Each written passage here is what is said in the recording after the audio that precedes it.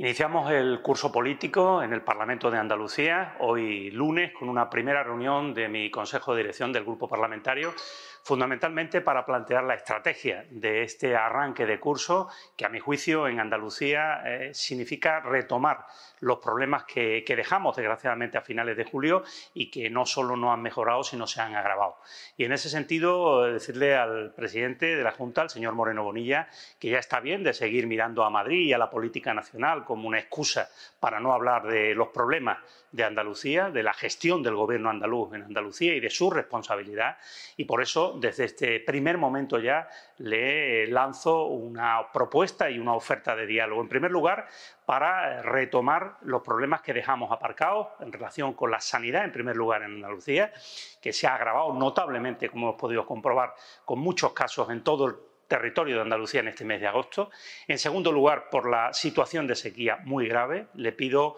que se convoque el grupo de trabajo de sequía del Parlamento o nos convoque a los grupos parlamentarios con urgencia para hablar de las obras de emergencia que en materia de sequía deben acometerse y la coordinación de su gobierno con el gobierno de la nación. E igualmente le pido al señor Moreno Bonilla que deje, en este caso, los debates y la confrontación que a lo largo del próximo mes parece ser su única estrategia para acompañar hasta el debate de investidura al señor Feijó, que dejen de una vez por todas de estar en permanente campaña electoral para dedicarse de una vez por todas a presidir el gobierno de Andalucía y a estar con los problemas de la gente.